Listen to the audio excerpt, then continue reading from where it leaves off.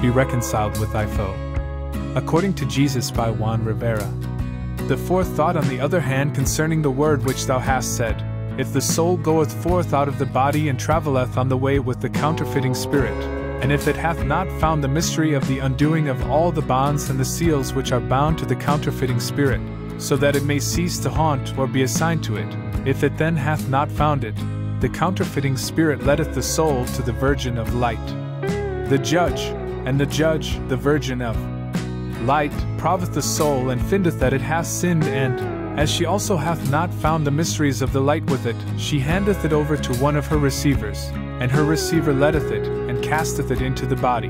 And it cometh not out of the changes of the body before it hath yielded its last circuit. Concerning this word, then, my Lord, thou hast said unto us aforetime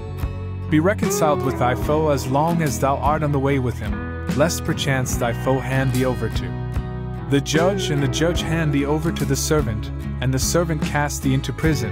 and thou shalt not come forth out of that region till thou hast yielded the last farthing. Because of this manifestly is thy word. Every soul which cometh forth out of the body and travelleth on the way with the counterfeiting spirit, and findeth not the mystery of the undoing of all the seals and all the bonds, so that it may undo itself from the counterfeiting spirit which is bound to it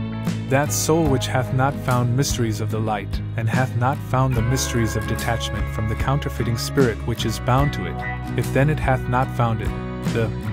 counterfeiting spirit letteth that soul to the Virgin of Light, and the Virgin of Light, yea, that judge, handeth over that soul to one of her receivers,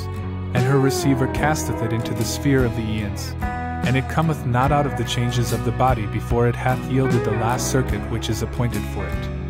This, then, my Lord, is the fourth thought.